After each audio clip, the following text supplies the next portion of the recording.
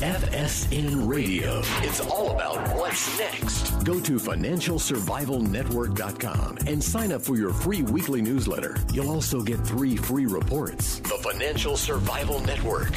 It's all about what's next. Welcome. You are listening to the Financial Survival Network. I'm Kerry Lutz. Today's April 17th, 2017. So, biggest news is what's going on in North Korea, although there's so many other things happening, but particularly North Korea, looks like it's getting close to a flashpoint. And well, what's the right move? Where do we go from here? Ivan Eland is with us now, senior fellow and director, Center on Peace and Liberty and the Independent Institute. Hey, Ivan, welcome back. Thanks for having me back, Kerry. Hey, so so we got a situation here in uh, North Korea. I don't know what your thoughts are about Kim Jong Un, but uh, what should we be doing here? Well, he is an erratic dictator, and if there's any ever a country or a person that you not want to have uh, nuclear weapons, it's North Korea under his leadership. So I think uh, you know it is a problem. I'm not sure it's the acute problem that most people think it is. Uh, this he's been ramping up the missile tests and that sort of thing. I still think he's probably at least four to ten years away from being able to hit the U.S. Um, with a nuclear warhead on a missile that can get to the U.S., the continental U.S. Now, of course, that doesn't mean he can't hit Japan and South Korea already. And even without his nuclear weapons, he has a lot of he. They've been, the North Koreans have invested a lot of artillery tubes so they can threaten Seoul, which is only 35 miles away from the border. And of course, there are millions of people that live there, which which would theoretically constrain any U.S uh, response because if we uh, do something um, in, a, in an attempt to attack him, that's the first thing he'll do is start shelling uh, Seoul. And so we have to be a little careful. The other problem, of course, is uh, unlike Saddam Hussein, unlike Muammar Gaddafi, unlike Milosevic, these dictators that we've taken out in the past, he has nuclear weapons already, or at least it's likely that he does. He just doesn't have the missiles to get them to the United States at this point, although he has medium range missiles, which, as I mentioned, can hit our bases in South Korea, Japan. So we do have to be a little bit more careful with him than other leaders that we've just nonchalantly taken out. And in fact, our, our po- previous policies have uh, somewhat contributed to this uh, problem. Obviously, he's erratic, and his father was erratic, and his grandfather was erratic, so that's nothing new. However, U.S. took out Saddam and it took out uh, Gaddafi, and Gaddafi was even uh, had gotten rid of his nuclear weapons and his weapons of mass destruction programs, was playing ball with the U.S., and we still ousted him. Uh, Obama did that at the behest of the French, which was really a mistake because now we have chaos in Libya. But also, the second mistake was it sends a message to countries like Iran and North Korea who might someday want to get nuclear weapons or already uh, are working on them that that's the only way they can avoid getting invaded by the U.S. So, mm-hmm. you know, in a, to a country like uh, North Korea, you really don't want to uh, feed the paranoia, which is also already there. So this is a very dicey type of situation, and there's no real good answer. We've tried presidents uh, have tried negotiating with North Korea, but they always say they're going to get rid of their nuclear weapons, and then they don't. And then, of course, uh, we inadvertently well, I shouldn't say inadvertently, but not on purpose. The United States government is, I guess, inadvertently is the only word I can think of at the moment. We've sort of reinforced his behavior because he likes attention and we give him attention. And probably the best thing to do with him is to treat him like a child who's misbehaving. Ignore him uh, if you can, and but we either slather him with food, more food aid, or we uh, send carrier battle groups as we are now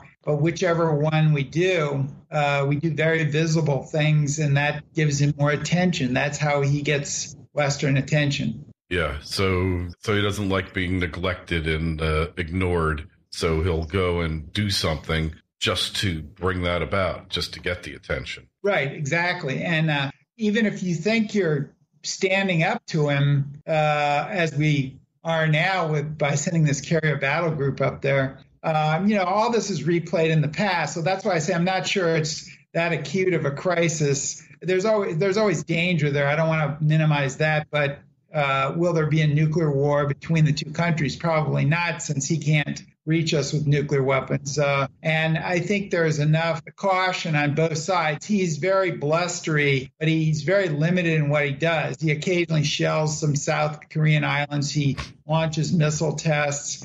He even does nuclear tests, which they say he's preparing another one. And, but and he'll he'll even uh, provoke his ally China because China is really getting fed up with him. And I think Trump is appropriately working on China to bring him to heel since China controls like uh, you know 90% of his trade goes across the Chinese border. Uh, China has investments there. Uh, North Korea sells coal, uh, its major export to China, which China has cut off, and that's unusual.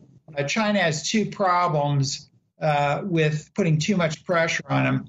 One, they're afraid his regime will collapse and they'll get a bunch of refugees. And also, number two, if the regime collapses, they'll have they may have the same situation happened as with Berlin after the Cold War, where South Korea uh, unifies with North Korea under U.S. Mm-hmm. military tutelage, and so um, you know they they don't want a uh, U.S. alliance on their border. And remember, in the Korean War, when the U.S. troops got too close to the Yalu River the border between North Korea and uh, China, China went nuts and invaded and of course pushed back the U.S. for a time in the Korean War. So uh, that, that's a very key economic area for them, just north of the North Korean border, in very you know in China, and so. Uh, they're very sensitive about having U.S. listing posts or U.S. troops stationed right across that border. So those are the two reasons that China has not put as much pressure on North Korea as the as the United States would like. Yeah, well, it looks like China's attitude though has changed uh, markedly. I mean, they've massed troops on the border, and like you said, they cut off the coal shipments, which is substantial uh, uh, amount of Korea, North Korea's exports to China, and they're ratcheting up the pressure this time. Yeah, I think they are finally getting the picture that he's very dangerous. And, you know, he's right on their border. So if he's not, if he turns ugly, they're right there. And uh, of course, the one thing that I think China is uh, concerned about is China is a trading nation. And unlike the Soviet Union, it does have economic ties, heavy economic ties with South Korea. It has heavy economic ties with Japan. And of course, these two countries are taking the brunt of uh, North Korea's missile tests. They've been splashed, the missiles have been splashing near South mm-hmm. Korea near Japan, et cetera. And so I think China has a lot of these economic relationships to protect, and I think that's a good thing. So we may, you know, Trump may be able to work some sort of a deal. He's being very blatant. Uh, that China will get a better trade deal if they help us with North Korea. Yeah, and so like so many other issues in the in the world, the geopolitical scene, a lot of it is riding on China. Yeah, and I think China like I said, uh, China has a much bigger incentive to play by the rules than the Soviet Union ever had because it has all this web of economic, um, you know, relationships, investment, trade around the world, and particularly in East Asia, where it wants to be a regional power. And I'm not so sure that the United States shouldn't allow China to be more of a regional power and perhaps you know retract our defense perimeter and let them do that like the British did the U.S. in the 1800s. Um, we have a wide ocean separating us from China, as the British did from the Americans, and I think that makes you more secure. Um, distance still does matter, and moats, big moats, ocean moats do matter for security. So um, I think China can play a, a, useful role if they choose to do so, and if the if Trump makes them a good deal. Uh, you know, Trump is a transactional president, but maybe that's not such a bad deal because I think the Chinese are very transactional too. Mm-hmm. You know, they may feel that they can work with Trump. Yeah. Well, his uh, recent uh, meeting with uh, China's president uh, Xi in Florida here appears to have laid the groundwork for what's taking place now. Yes, uh, Trump sort of changed his tune a bit on the currency manipulation. Of course, China has has sort of reversed that in the last couple years. So he, Trump is not really giving anything up there by doing that, by not declaring them a currency manipulator. And he he was also saying, I think. Uh, President Xi uh, is willing to help us with North Korea. So I think there's a confluence of factors that are are happening. Uh, Trump is moderating his position on China, but also I think China as we were saying earlier, is getting a little fed up with uh, North Korea. Yeah. Well, uh, do they really want uh, unbridled uh, nuclear power right on their border? Uh, even no, if I think is? they think he's very erratic because you know he's done this latest missile test. He he just flaunts his uh, you know um, unpredictability as a as a uh, pushback even against his ally China. And I think China is saying, hey, you know, we've supported you this whole time. You're we're your only friend in the world. Everybody thinks you're cuckoo except us. So why are you doing this to us? Yeah. Yeah. Well, you would think, but you know, that's is the guy Kim Jong Un, is he really nuts, erratic, or is this part of a strategy? Well, I think you could say he's crazy like a fox. I mean, he's very well informed. He's the only person in North Korea that probably is. He watches yeah. all the news yeah. channels from the West. And I think he this is the way he gets attention. This is the way he keeps his country together. Remember, his country, he's still got a communist system there, and it's a communist system based on hereditary hereditary succession, which you really haven't seen in many other communist countries. Mm-hmm. Um, maybe the Castros in Cuba are the only one other one, but normally communist countries don't do that. But he's his people are starving. His economy is just bankrupt. It doesn't work, and so he's got to have something to hold the country together. And I think the quest for nuclear weapons and quest to get saying I'm a I'm a player on the world stage because look, I can shoot off a missile and get the attention of all, the whole entire world, including China, the U.S., all the great powers. Yeah, yeah. Well, I think um, perhaps at one point in his relationship with China, he was useful, a useful pawn, but perhaps now he's outlived his usefulness. And if China wants to get rid of him, how hard is it for China to get rid of him? Well, of course, they could invade the country, and uh, they did it. It would be a lot better than if we did it. But then, of course, that raises that would raise the U.S. military concern that China would just keep going. But uh, if there was some arrangement between the United States, uh, led by Trump, and China, led by Xi, that the Chinese would take care of the problem for us. Uh, that might be the best, I suppose. But uh, you know, you're invading a country with nuclear weapons, and they don't know, probably know where all the facilities are. Many of them are buried after the 1981 incident where Israel attacked the um, reactor in Iraq, after that, all these nuclear aspirants have been burying their facil- nuclear facilities, like Iran buried a lot of their facilities, and North Korea has done the same. So, you know, these weapons uh, there's they probably know where some of them are, but it's questionable whether they know all where all of them are. And of course, our intelligence is probably better than the Chinese intelligence um, because I'm sure Kim hasn't told them where they are. So mm-hmm. if they did invade or something like that, they'd have to make sure they got, they collected all the weapons. Yeah. So do you think that Kim Jong Un got any kind of message from the U.S.'s recent actions in Syria uh, with the missile attack and in Afghanistan with the use of that uh, Moab uh, mother of all bombs? Well, I'm not so sure. I mean, the the uh, missile attack on Syria looked pretty um, lame. It, it reminded a lot of people of Bill Clinton's shooting off a few cruise missiles after Osama bin Laden had attacked the Ken, uh, embassies in Kenya and Tanzania in 1998. So, I mean, it didn't even prevent the runway from being used uh, mm-hmm. almost right away. So, I think you know it may uh, Kim may take note of these things, but I think that. Uh, and they probably were meant as a signal to him because this Moab bomb that they did in uh, Afghanistan is a 22,000 pound bomb, which is designed to take out hardened tunnels and caves uh, in mountains where people where they're hiding weapons and people in, uh, uh ISIS was. And so, uh, you know, he can't help but take notice of both of them, but that doesn't necessarily mean that he puts himself in those categories. I mean, he's already got nuclear weapons, and he knows that's a big uh, deterrent from the U.S. attacking him.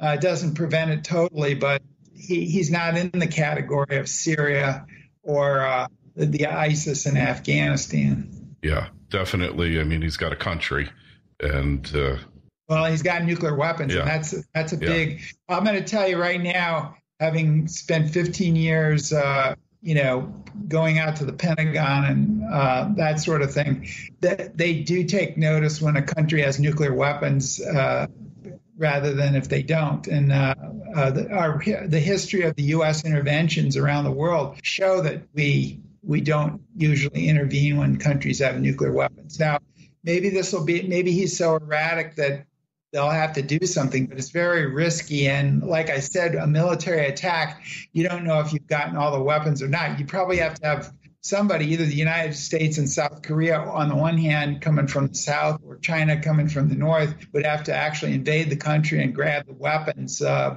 before he could fire them off. Yeah, and I, I, just wonder, you know, it's a militaristic state, kind of like no other in the world, North Korea. I just wonder, is the country so fed up that at the first sign of weakness uh, by Kim Jong Un, they'll be uh, they'll turn on him and if there's an attack, will they uh, will they greet their invaders as liberators? Well, I mean, you know, we, we've been predicting that this regime would fall for a long time, and it really hasn't. So it's stronger than I think people think it is. Now, would, would these people really fight to the death for this guy? I don't know they could just say, okay, you know, come on in and, you know, we're just laying down our arms. We're not going to die for this guy. And that's a possibility with any regime that's as nutty as this one is and, and is oppressive to its people and not providing uh, for them, or I should say, letting the market provide for them.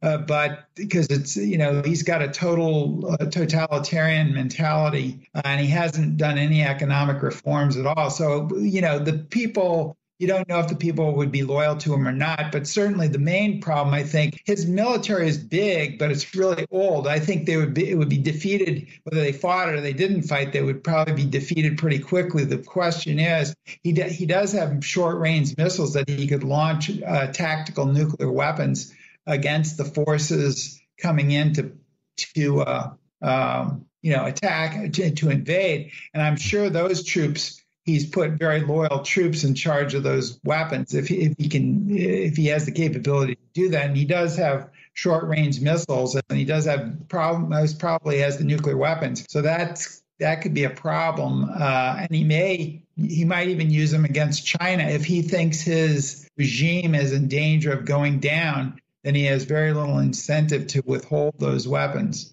Mm-hmm.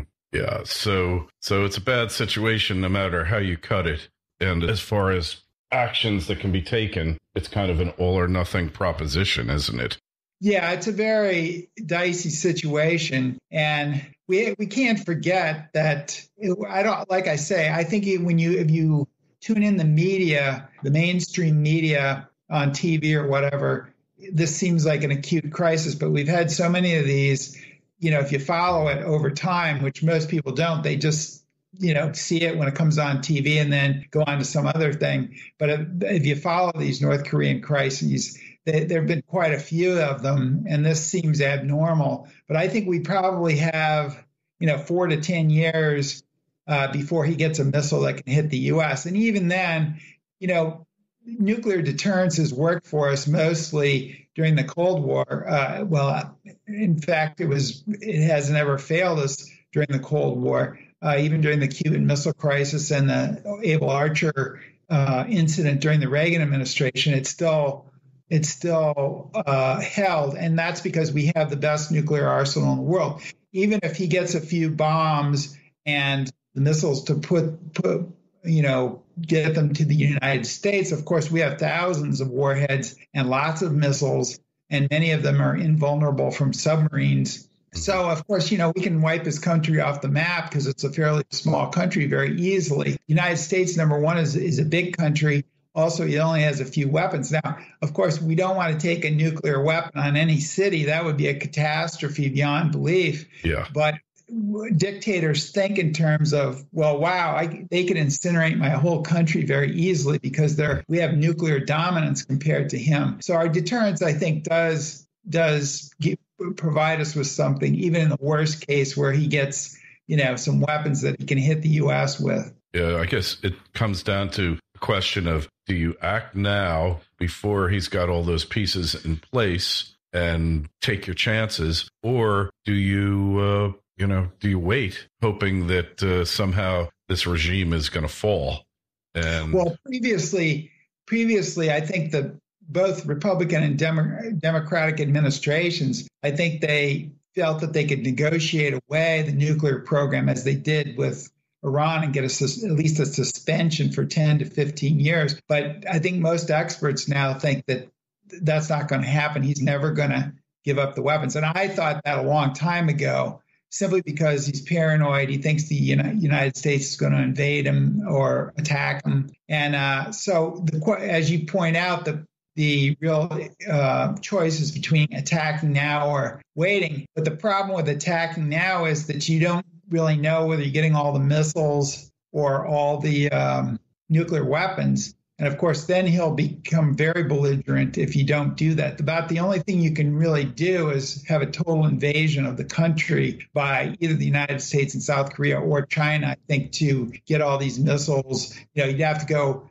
after you take over the country and occupy it, you have to hunt around like we did uh, for weapons of mass destruction after Saddam Hussein. Now, Saddam Hussein had gotten rid of uh, his and had never gone back to the programs. But uh, I think you probably would find some in North Korea, both missiles, long range missiles, medium range missiles, short range missiles, and also nuclear weapons. But of course, you have to invade the country without him. Um, you know, using the new, the tactical nuclear weapons, the short range nuclear right. weapons against you in some way. Even if he doesn't have the missiles, he can blow off the device in some way and and uh, on the troops coming in. So that's a problem. If you attack from the air, a lot of it's hardened, a lot of it's underground, and you can get some of it with uh, the Moab and other bunker buster bombs, but you have to find it all, and that's the key problem. I think the intelligence uh, to find all the missiles and nuclear weapons. So if you're just doing an air attack, I'm not sure that's going to work.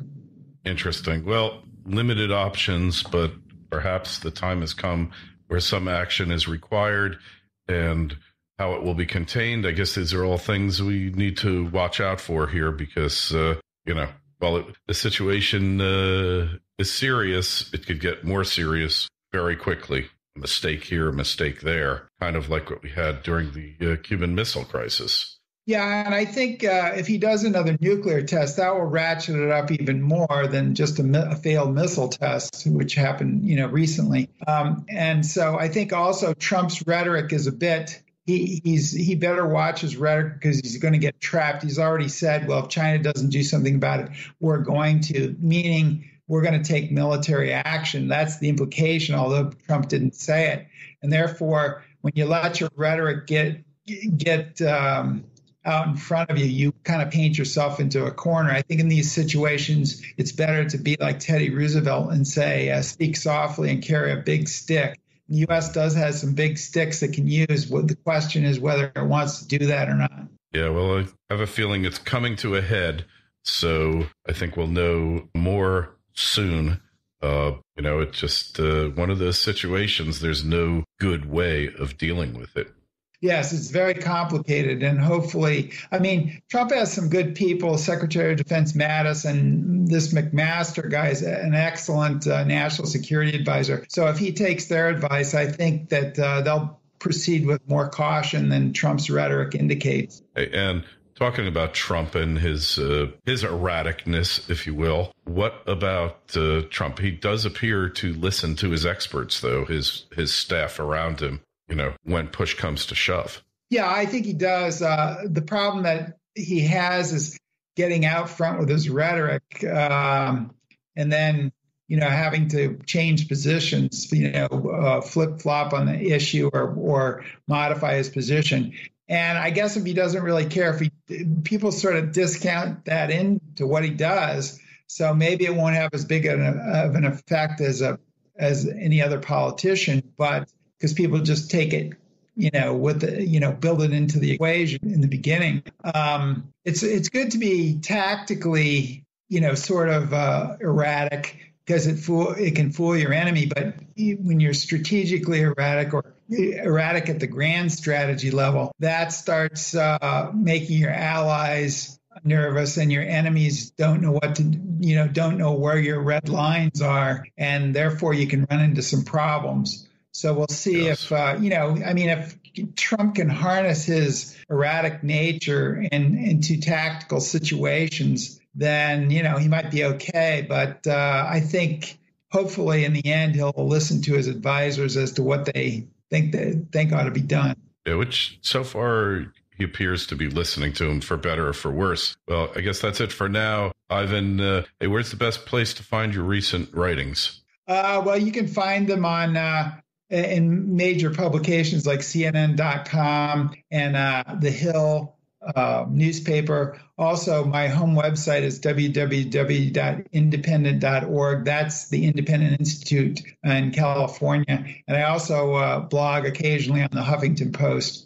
All right. Hey, and as always, we'll have a link to uh, to your site and the show notes to this interview on Financial Survival Network. Got any questions or comments on this interview? Any others we do? Send me an email at kl at kerrylutz.com, kl at kerrylutz.com. Our Twitter feed is at Kerry Lutz, and our Facebook page is Financial Survival Network. Ivan, it's an interesting world out there, and we're just going to have to see how this thing plays out. Yep, we are. It'll be very interesting to see what happens. FSN Radio. It's all about what's next. Go to financialsurvivalnetwork.com and sign up for your free weekly newsletter. You'll also get three free reports. The Financial Survival Network. It's all about what's next.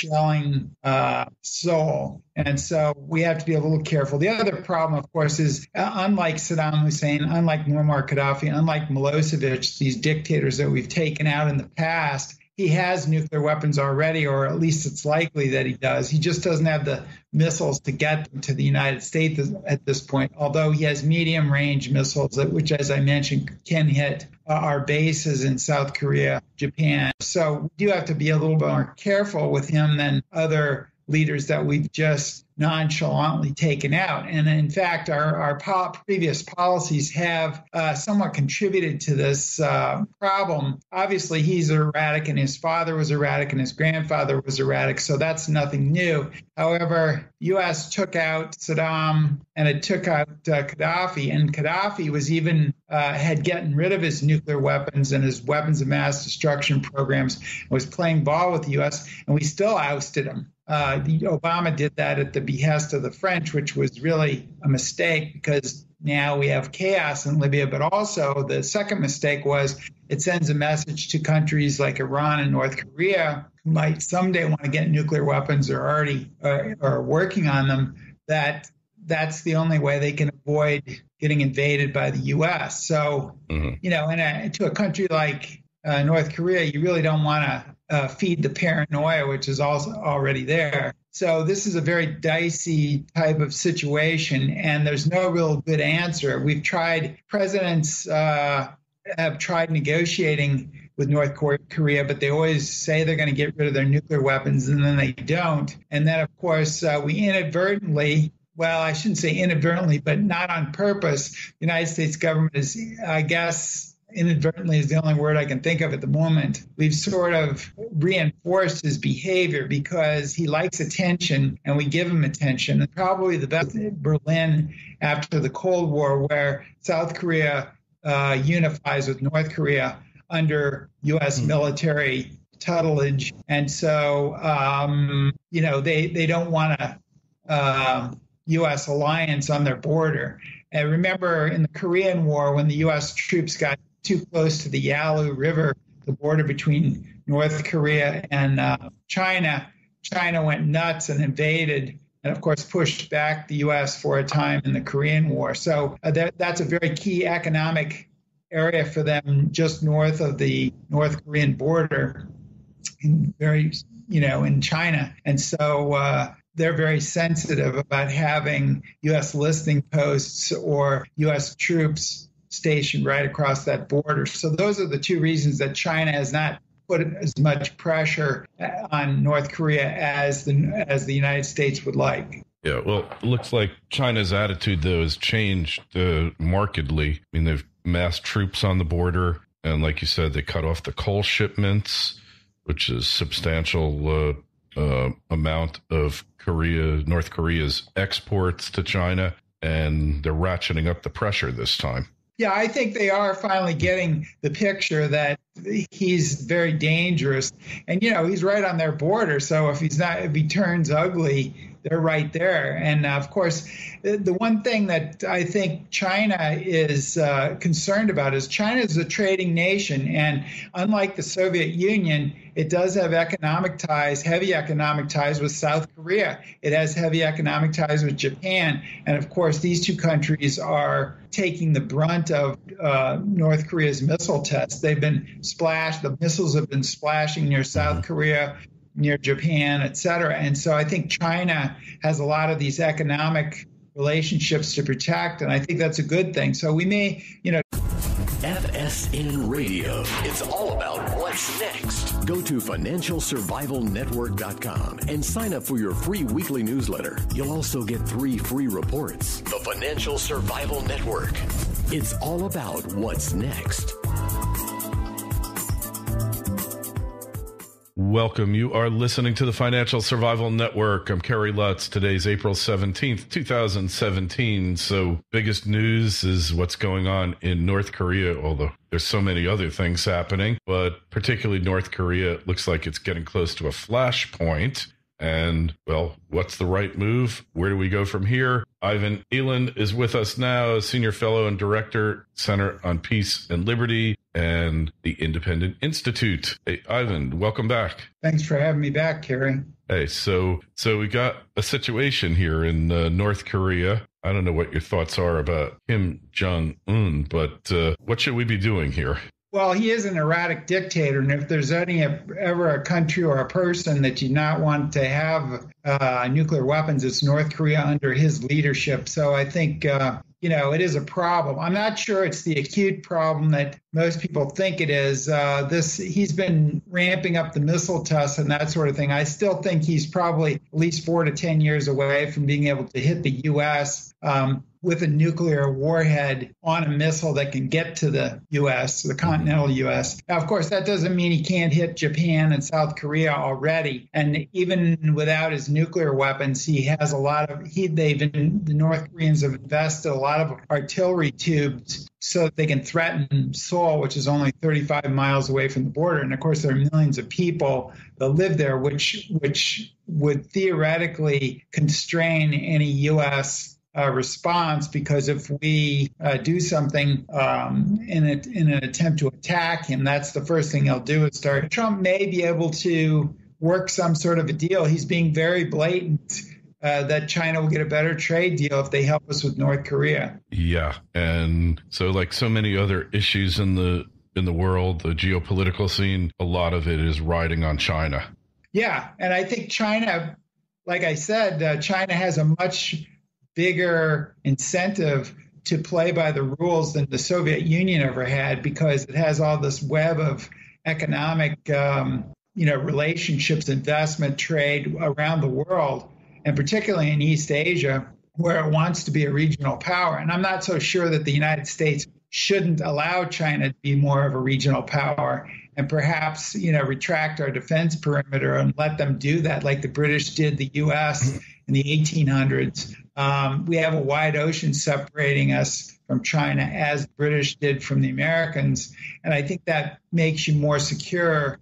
Um, distance still does matter, and moats, big moats, ocean moats do matter for security. So um, I think China can play a, a, useful role if they choose to do so, and if the if Trump makes them a good deal, uh, you know, Trump is a transactional president, but maybe that's not such a bad deal because I think the Chinese are very transactional too. Mm-hmm. You know, they may feel that they can work with Trump. Yeah. Well, his uh, recent uh, meeting with uh, China's president uh, Xi in Florida here appears to have laid the groundwork for what's taking place now. Yes, uh, Trump sort of changed his tune a bit on the currency manipulation. Of course, China has has sort of reversed that in the last couple years. So he, Trump is not really giving anything up there by doing that, by not declaring them a currency manipulator. And he he was also saying, I think. Uh, President Xi uh, is willing to help us with North Korea. So I think there's a confluence of best thing to do with him is to treat him like a child who's misbehaving ignore him uh, if you can. And but we either slather him with food, more food aid, or we uh, send carrier battle groups as we are now. But whichever one we do, uh, we do very visible things, and that gives him more attention. That's how he gets Western attention. Yeah, so so he doesn't like being neglected and uh, ignored. So he'll go and do something just to bring that about, just to get the attention. Right, exactly. And uh, even if you think you're standing up to him, uh, as we are now with by sending this carrier battle group up there, um, you know, all this is replayed in the past. So that's why I say I'm not sure it's that acute of a crisis. There's always there's always danger there. I don't want to minimize that, but uh, will there be a nuclear war between the two countries? Probably not, since he can't reach us with nuclear weapons. Uh, and I think there's enough caution on both sides. He's very blustery, but he's very limited in what he does. He occasionally shells some South Korean islands. He launches missile tests. He even does nuclear tests, which they say he's preparing another one. And, but and he'll he'll even uh, provoke his ally China because China is really getting fed up with him. And I think Trump is appropriately working on China to bring him to heel since China controls like uh, you know 90% of his trade goes across the Chinese border. Uh, China has investments there. Uh, North Korea sells coal, uh, its major export to China, which China has cut off, and that's unusual. Uh, China has two problems uh, with putting too much pressure on him. One, they're afraid his regime will collapse and they'll get a bunch of refugees and also, number two, if the regime collapses, they'll have they may have the same situation happened as